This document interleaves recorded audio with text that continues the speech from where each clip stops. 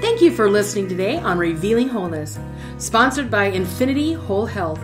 Check out our website at infinitywholehealth.com, where we are revealing the eternal in each individual, the infinite in the individual. The creativity is made manifest. Limitation is let go. Now, here's your host, Dr. Troy Munson. Could you imagine eating kidney pie? Be like, oh, you know, just the thought of it. But that's what we did. We had sweetbread. How many of you old enough to have sweetbread? You have, yeah. That's the thymus gland on the heart. It's the main immune quarterback. We don't eat that anymore. You know, it's it's weird that we don't. These are the highest highest density foods on the planet, and yet we just ignore them for the muscle meat. You have an animal that takes down another animal who's a carnivore, he doesn't eat the muscle meat. They eat all the organs. They'll bury the muscle meat because, in case they're starving, that's the last ditch effort that they will eat. But it's the first thing that we do. So it's different. So our goal is now to try to figure out where do I get nutrient density in my in my diet to repair these organs so that I can feel younger and younger like I did when I was 18. It's all about how we feed you and how nutrient dense your food is. It's going to be everything to us. So I want to finish out the men talking about the prostate. Now, in men and women, we have analogous organs, meaning the testes are analogous to a woman's what? Ovaries. Okay? Now, isn't it interesting that women will have their ovaries out? Men, if somebody told you, I think we should cut your testicles off, what would you tell them? You'd be like, no way. I know that's bad. But women will do it without thinking about it because they're not told that, unfortunately. This gal that's still having hot flashes, she was told at age 39 that she didn't need her uterus anymore and that she should have it out. And I said, the prostate is analogous to the uterus in the women. And in the prostate, our prostate turns testosterone to a stronger form of testosterone, 10 times stronger. It's one of the, one of the main sites. The skin is the other site. If we produce too much of it, we will lose hair too. So we think, oh yeah, I would love DHT, dihydroxy testosterone, 10 times stronger than testosterone. But it actually is a detriment to you if it's too high. So we want a balance in our bodies between DHT, testosterone, and androstenedione, which is a weaker form of testosterone. So we have three types of testosterone in the male body. Women, you have three types of estrogen. And there's not one substance in your body called estrogen. It is a class of, of estrogens. And so there's one that's, that's the normal one, there's one that's weak, and there's one that's really strong.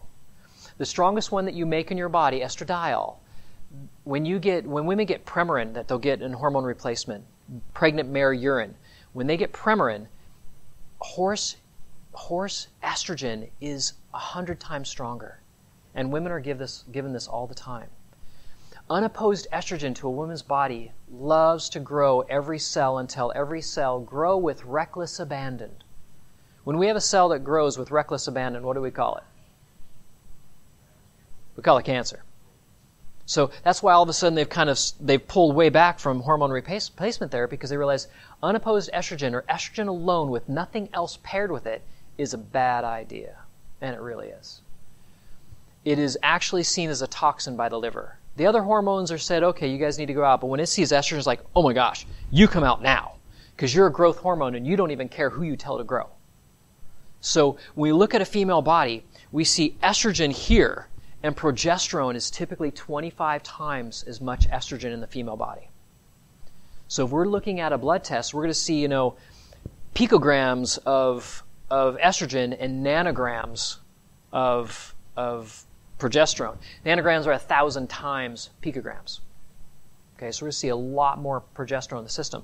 They're learning that too. They're saying, hey, we don't now just do birth control pill with estrogen alone. We pair them together and we make them right for woman's body to try and stop some of these things we're seeing happen. Yeah. DHEA is the parent. So we'll see huge amounts of DHEA because DHEA, so here's how things work. How many of you have been to my cholesterol workshop? Anybody here yet? No. So, cholesterol is here. DHEA. DHEA splits off and now becomes progesterone and then testosterone, estrogen. So DHEA is going to go to pregnenolone and progesterone, but it, you can short circum that, circum that, ladies, and make pregnenolone go to cortisol immediately. So if you make cortisol really well, that's what you're doing. We call that a, a pregnenolone steal.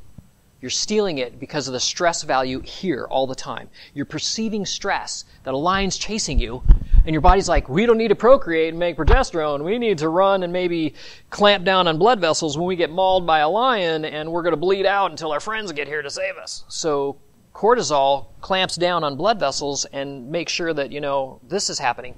Does that sound like high blood pressure? Yeah. So the more stress you're under, this is constantly happening to your blood vessels, and your, your heart's like, oh, what the heck? You know, I can't get through here. I got to raise blood pressure to try to get blood through because there's so much cortisol.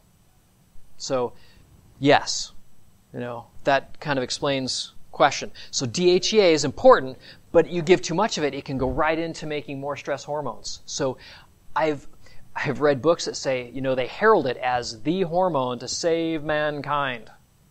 And while it's nice, it should never be given in large doses and it should only be sublingual, in my opinion. It shouldn't be a cream that can release all of a sudden in huge amounts. And once you take it, the liver's immediately going to take everything from the small gut, goes right to liver first, and it, it's processing. Whoa, what the heck did you eat? It's pulling garbage out, you know? But if it sees DHEA, it's like, we'll just process this too. I don't know why this is here. And so DHA we want to be careful with. Because if you start taking it, your body's like, well, I don't have to make this anymore. So now people, when they come to me, it's, it's hard to get them from, my cholesterol's, you know, 300, I got to do something now. I'm like, your cholesterol's 300 because you're under a lot of stress and your body's trying to make hormones. You're stealing all of it. And so your cells keep making cholesterol because it's saying, I need my hormones and you're not giving them to me. And I'm going to continue to put out cholesterol until you do. So high cholesterol does not damage the heart. High cholesterol is telling us that you're really overstressed. And so once once we have we'll, I'll just do this a little, little bit. So as we look at a blood panel, cholesterol, uh, HDL, LDL, and triglycerides. So cholesterol, we need a lot of. It's okay if it's in high quantities. That's not heart stuff, but everybody thinks it is. HDLs is carriers from the tissues to the liver to get rid of cholesterol. That's what HDL does. So that's why everybody says, oh, HDL is the good guys. That carries it from the body to the liver to get rid of the cholesterol.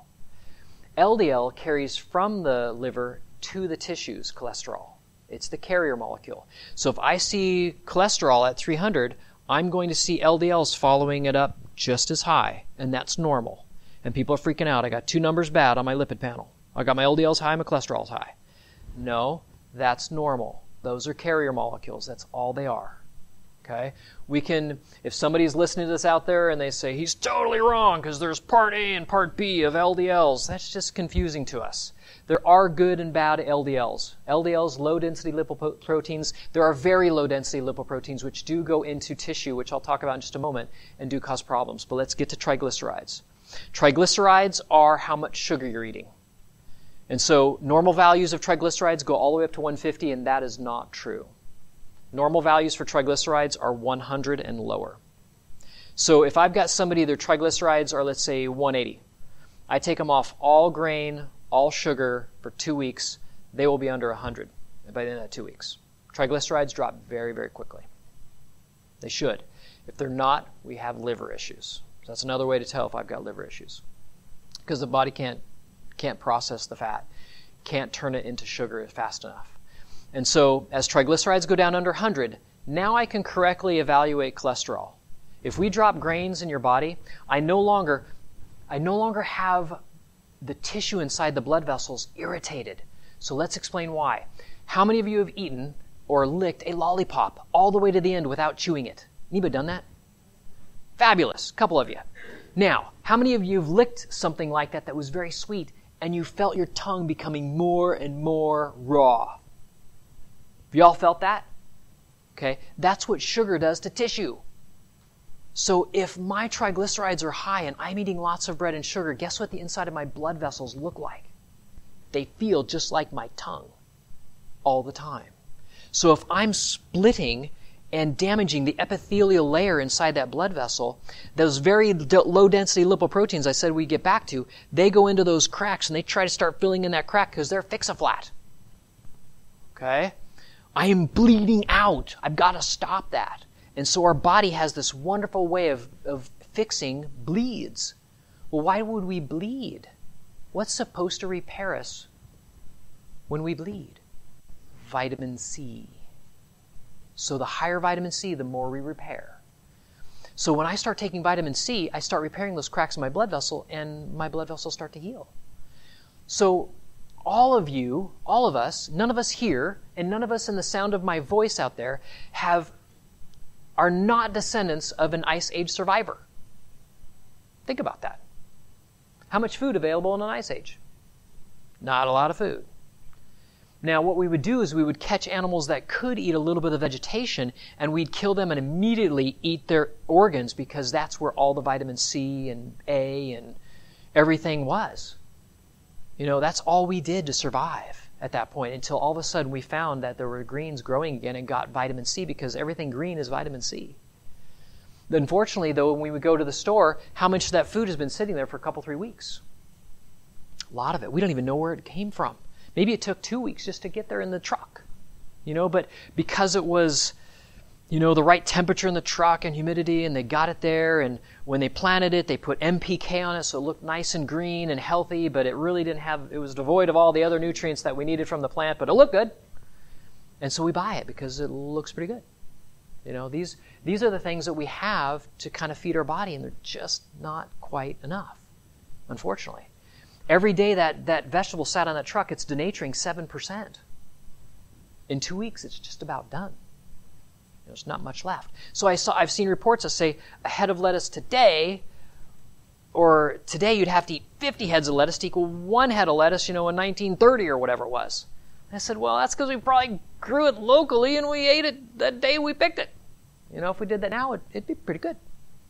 You know, so the fresher you buy things, the better it is for us. But again, here we are, not huddled around a campfire in community, you know, scavenging and, and doing things like we should. We're now a thousand miles an hour in a thousand different directions, and we wonder why our health is, is suffering. And so now we're kind of realizing, oh man, I gotta, I've really got to de-stress and change things.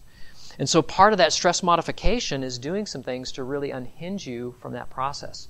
So we now got to the thyroid. So the thyroid was a last ditch effort to try and help the body survive. And so the thyroid literally means shield.